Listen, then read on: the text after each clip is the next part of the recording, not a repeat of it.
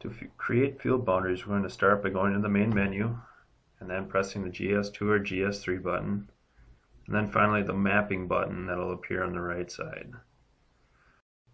From here we can hit the boundaries tab that'll appear up on top and then start filling in the information of the client, farm, and field in which we are at. To start out with, under type we're going to select exterior for creating an exterior boundary around the perimeter of your field.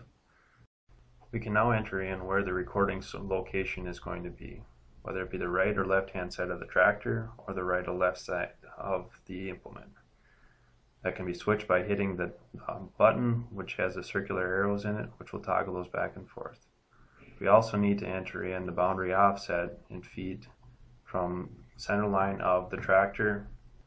Some examples can be measuring from the center line of the receiver out to the edge of a dual on a tractor if you're just using a tractor or from the center line of a field uh, field cultivator to the outer edge and having the field cultivator serve as your outer marker for the field boundaries.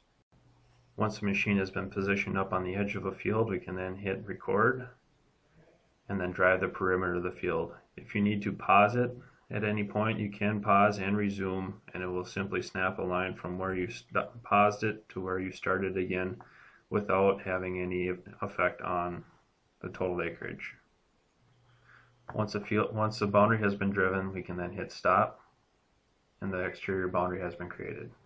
Creating an interior boundary is going to be very similar in the fact that we need to select interior, give it a name, and then tell it whether or not it's a passable or impassable boundary by the, signified by a check mark in the box.